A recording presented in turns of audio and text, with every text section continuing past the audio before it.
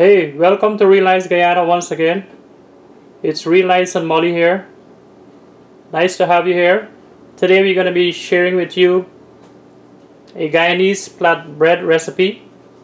And for this recipe here, we're going to be using these following ingredients here. We have three and a half cups of all-purpose flour, quarter cup of sugar, quarter cup of melted margarine, one and a quarter cup of warm water, and that's all the ingredients we're going to be needing for this Guyanese plait bread so stay tuned guys.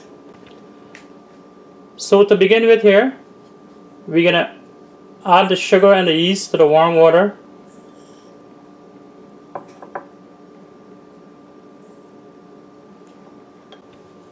And now you have to let this sit for about 10 minutes for the yeast to activate. So after 10 minutes this is what your mixture should look like when the yeast is activated. So now we're going to start mixing the dough here for the bread.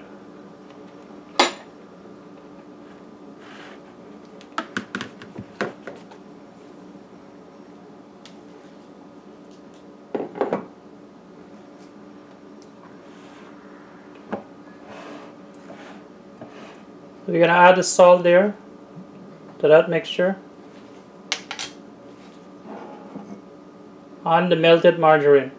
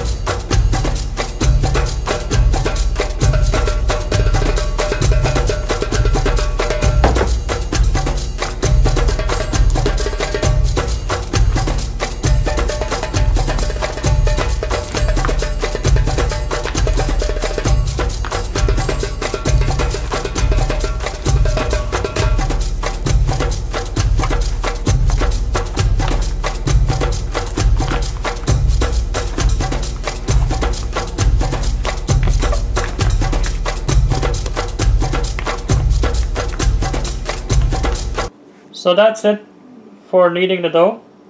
And if you find at the end of the dough it's a bit, it's not getting smooth, just wet your hands a bit and knead it a little bit more and it will become smooth, okay? So after kneading the dough here, you have to let this sit in order for it to rise for about 45 minutes to an hour. So this should double in size that it is here right now and once that happens you're going to continue the process okay? So see you then. So we're going to cover this and set it aside to rise. So our dough has sit for 45 minutes and this is what it looks like now.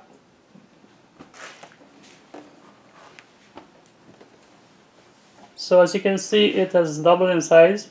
So what we're going to do here now we're going to just punch it down and let it rise some more for another half an hour.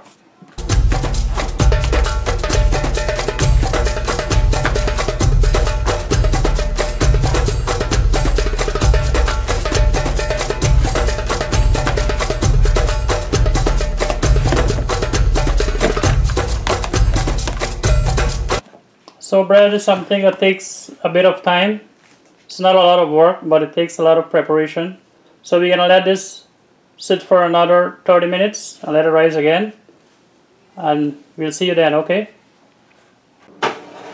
Okay so this is after the second half an hour of allowing the, the dough to rise again. So this is what it looks like here now. And the reason why you're allowing your dough to rise twice is because it makes for a more solid bread. It removes air pockets hollow uh, your pockets in the bread. So you have a more solid bread okay?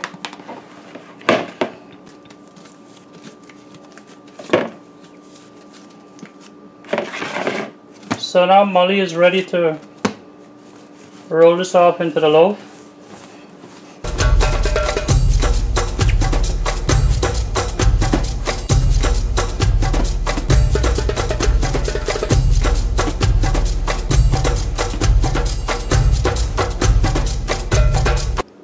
So what she's gonna do now is separate this into three pieces.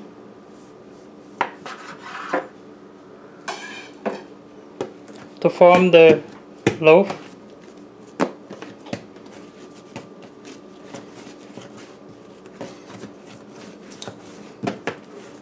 And now you're gonna roll each piece out to the length of your bread that you want your bread to be.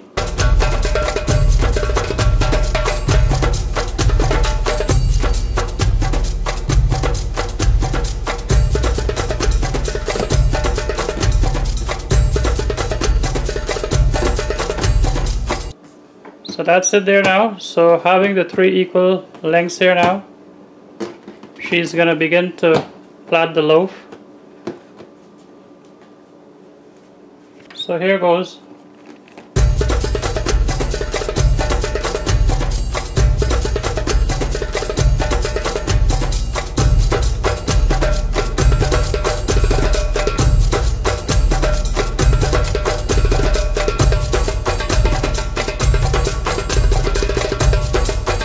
And that's it. You're gonna just tuck the ends in.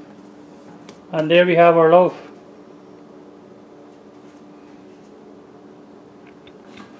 So now you're gonna transfer this to your baking pan.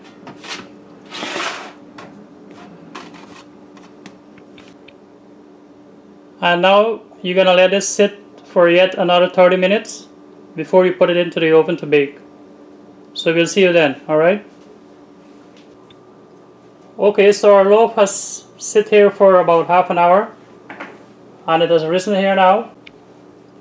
So we are now going to bake this for 25 minutes at 375 degrees Fahrenheit. This You're going to bake this until it's golden brown. So we're going to insert this into the oven here now on the middle rack.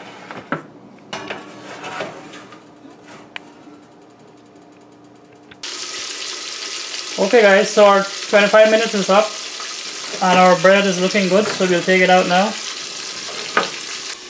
So our bread took the 25 minutes and because oven temperatures vary because of different reasons, yours may take a little less time or a little more time, but you're gonna look for the color on top, the golden brown color like this here. So now we're gonna apply some margarine in here while it's hot.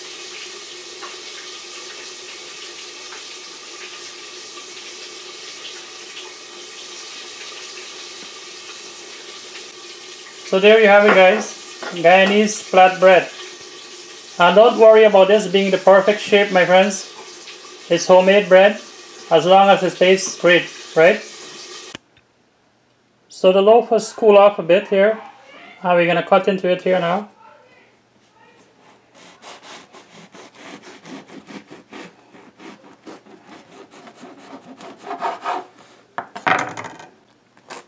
So there you can see very well done. And this is soft. So the way they have the bread in Guyana it's it's limitless. They have it with so many things there. You can have this with butter margarine cheese fish fried fish. You can have it with pepper pot and I can remember on Saturdays mainly, after we we've had dinner, a little bit later you would go get a loaf of this, slice it and toast it on the tawa, and have it with margarine for a late snack with tea. And of course in Guyana bread on a Sunday morning is, is a routine. You get your bread and your Australian cheddar cheese perfect combination you can even have it soaked into some cheese some people like that you have it with pepper pot hey you can even substitute roti with this you can have this and curry right I've heard of people having bread and dal before never tried that myself But there you go. The possibilities are endless. And there you have it, Guyanese plait bread. Enjoy. Please remember to give this video a thumbs up. Don't forget to subscribe. And as always, thanks for watching. Take care. Bye.